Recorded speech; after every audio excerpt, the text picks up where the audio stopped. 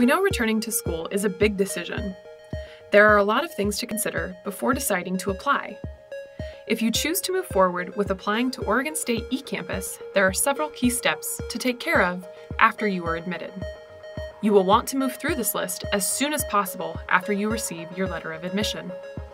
Once you are admitted, OSU eCampus has a team of student success counselors that are here to help you along the way. We want to help make sure you feel comfortable and confident starting your first term here with us. So let's get started. One of your best resources is the Getting Started Guide, which includes the steps I'm about to outline for you. There are additional steps that you will need to complete that are not covered in this video. You can access this guide from the eCampus homepage under the Current Students tab.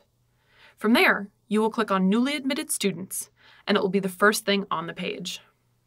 Select the guide that corresponds to your student type. Step 1. The first thing you will need to do is set up your Oregon State Network Identification, or ONID, account. You will use this username to access almost all of OSU's systems. To set up your ONID, visit onid.oregonstate.edu. On the left side, click on Sign up for ONID. You will need your student ID number, your ID number is printed on your letter of admission that you received from the Office of Admissions. If you are having trouble finding it, you can contact the Office of Admissions at 541 737 4411. Next, enter your birth date and your first and last name. Once your information is verified, you will be able to create your password.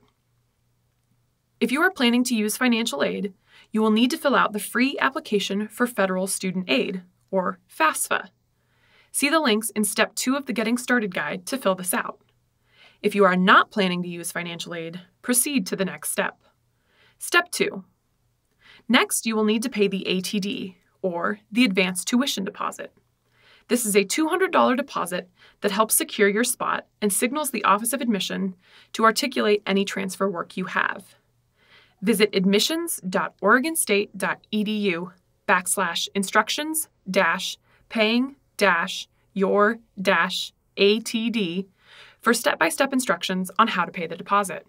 It's important to note that there are some student populations who are exempt from paying the ATD. Step 3. The next thing you need to do is complete the eCampus Online Orientation, which is a tool that helps you start the advising process. It is a brief overview of policies and procedures that helps you get a better sense of Oregon State and what it will be like to learn online. To find the eCampus online orientation, you will refer to the Getting Started Guide, Step 5. You can also select the link to the online orientation from the menu bar on the right side of the screen. Step 4. After you have successfully completed the online orientation and paid the ATD, you will meet with your academic advisor. A confirmation email will be sent to your ONID email account once you complete the online orientation, with information on how you will set up an appointment with your specific advisor. Keep in mind, for some majors, you are expected to call the advising office and set up an appointment. All contact information you need will be included in the attachment in the confirmation email. It is important to know that as we get closer to the start of classes, advisors tend to have a longer turnaround time on scheduling appointments, so make sure to schedule with them as soon as possible so you are able to enroll in the classes you need. Step 5. After you have met with your advisor, you will need to register for courses. If you find this process difficult, you are not alone. To help you through this process, we created a step by step video guide that will walk you through the process of registering for classes. You can find that video by visiting ecampus.oregonstate.edu backslash services backslash registration. For reference, you will want to review the tuition, fees, and billing page to learn important information about cost and when you will be required to pay. Refer to Step 9 in the Getting Started Guide. If you would like an Oregon State ID card, refer to Step 10. The last two steps are not included in the Getting Started Guide, but will help you feel prepared when classes open on the first day. Step 6. Once you have registered for your courses, you will need to order your textbooks. We recommend you purchase your textbooks and other materials before classes begin to help ensure a smooth start.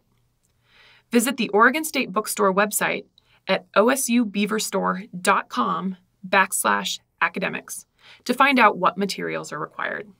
Step 7. You have your class schedule, textbooks ordered, and are ready to get started. We know most students are excited, anxious, and nervous about beginning classes at a new school. As an additional layer of support, first term students are enrolled in a free Canvas learning community. Canvas is Oregon State University's learning management system where you will access your courses and connect with your classmates and instructor. Take some time before the first day of class to peruse the content in Canvas. You can log in by going to the main services page at main.oregonstate.edu and clicking on Canvas. The Success site will help you gain familiarity with Canvas and give you a chance to practice posting in the discussion board prior to the first day of class. And no need to worry, there is no grade in this course. It's just a helpful tool we have created for you to use as you wish. If you have any questions before, during, or after you have completed these steps, please feel free to reach out to the eCampus Student Success Counselors by email at ecampus.success at oregonstate.edu. Welcome to Oregon State and good luck on your first term here. Go Beavs!